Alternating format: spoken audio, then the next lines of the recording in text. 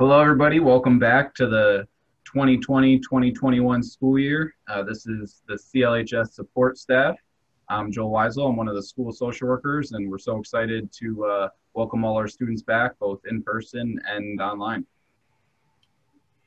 Hello, my name is Linda D'Addario, and I am a school social worker here at CLHS, and really looking forward to our unique year we have ahead of us, but really excited to be able to work with students both uh, in person and online.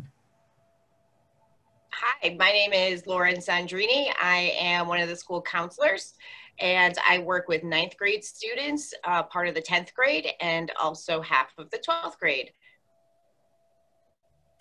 Hi, CLHS families. Uh, I'm Heather Benetosh, one of the um, one of the school counselors. I work uh, primarily with uh, 10th, 11th, and 12th grade students, and we're just really excited to get to know all of you and work with you this school year.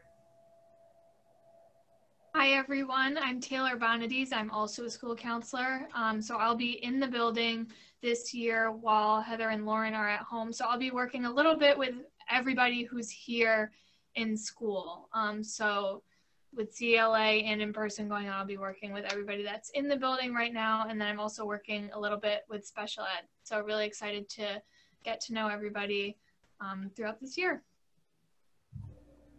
Anybody have anything else they'd like to uh, add or share with our families? No, we're just very excited to see everyone. Yes, welcome. We hope you have a good evening. Bye, everybody. Bye.